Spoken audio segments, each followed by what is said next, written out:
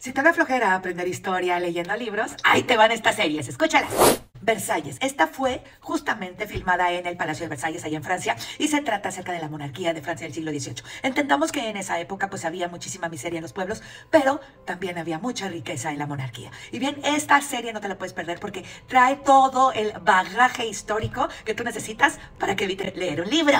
Ah. Y esta otra que tampoco te puedes perder, que a mí me parece increíble.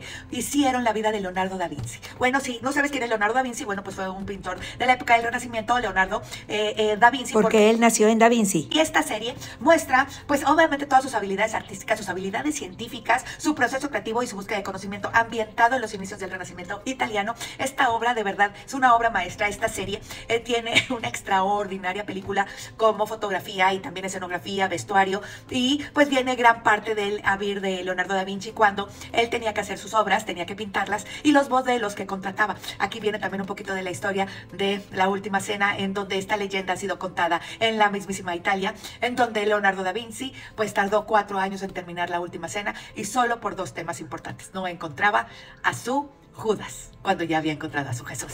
Y esta serie que también nos remonta al siglo XV con los Medici. Bueno, si de alguna manera tú sabías que eran los Rockefeller, que eran los Rothschild, bueno, pues en el siglo XV eran los Medici. Y bueno, los Medici fueron los que llevaron a los bancos y las finanzas de gran parte de ahora llamado Italia. Pero ellos sacaron la moneda y también hicieron usureros en su momento. Pero esta historia que eh, parte, por supuesto, de Giovanni de Medici, quien es el que es el patriarca en su momento y este muere. Y entonces toma todo el poderío, pues De Medici. Y este asume todas las prácticas financieras y todo lo que tiene que soportar para poder salir adelante en la política y en las finanzas. A mí me parece que la familia Medici, esta es una serie maravillosa en donde puedes encontrar el quiénes eran los Medici, por qué se dedicaron a comprar arte, justamente por eso en gran parte de Italia y de, y de Europa había tanto arte, porque se dedicaban justamente a comprar arte y mandarlo a una de sus empresas muy importantes, que una de esas fue el Vaticano.